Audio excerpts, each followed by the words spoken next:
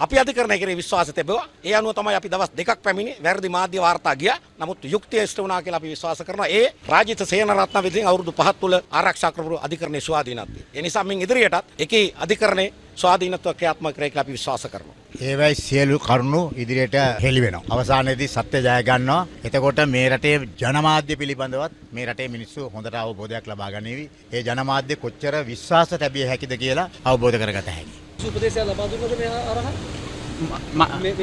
උපදේශයක් දුන්නද නෑ මට උපදෙස් දෙන්න ඕනේ නෑනේ. ඒකට නීතිඥවරු ඉන්නවනේ. ඇයි ඔබතුමාට උපදේශයක් ඕන නම් කියන්න. මේ අධිකරණයේ මේ රජය සමයේ ස්වාධීන මොකද්ද මාත්‍ය? ඔව්. ආ ඒක තමයි. ඔබතුමා මේ මේ දිලිත් ජයවීරගෙන් අහන්න මගේ කාර්යාලයට ඇවිල්ලා උපදෙස් ගත්තද නැද්ද කියලා.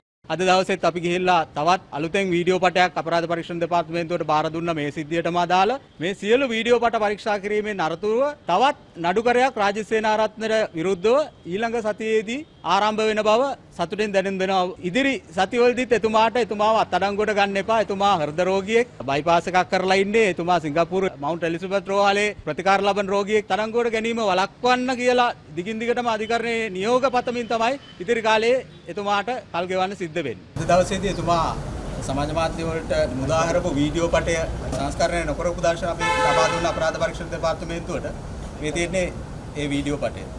කියන්නේ තනාපති තානාපතිතුමා වෙනුවෙන් නිලධාරියෙක් කරපු ප්‍රකාශයේ කටට පිස්තෝලය දැමීමත් ඒකෙම ඇය කරපු ප්‍රකාශවල ලිංගික අතවර කිරීම ගැනත් මේ සියල්ල තිබෙනවා.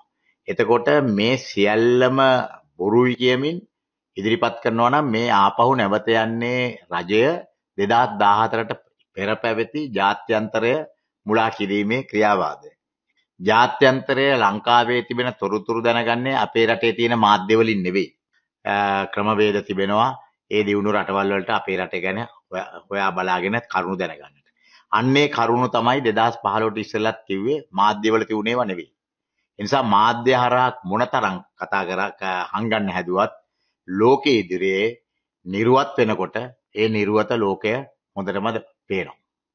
රාජිත සේනාරත්න මහත්තයා හිතනවා නම් මේ කිඹුල්ලු සුදුවෑන් රියදුරාගේ මේ ප්‍රශ්නය සම්බන්ධව විතරයි ඔහු අත්අඩංගුවට ගන්න ඉන්නේ කියලා ඒක ලොකු බොරුවක්. මම හිතන්නේ ඒ නිසා තමයි දැන් දෙවන තුන්වන නඩු දෙකක් පවරලා අපේක්ෂිත අප ඉල්ලන්නේ වෙන වෙන දේවල්. හැබැයි මං දන්න තරමින් රාජිත සේනාරත්නට ඔහු කරපු අපරාධ 10කට වැඩිය තොරතුරු තියෙනවා. එකින් එක කියලා වෙන වෙනම අපේක්ෂිත අප ඉදිරිපත් කරන්න. එතකොට අධිකරණයට වැටහෙයි ඔබතුමාලා ඔබතුමා කරපු අපරාධ සංඛ්‍යාව කොච්චරද කියලා.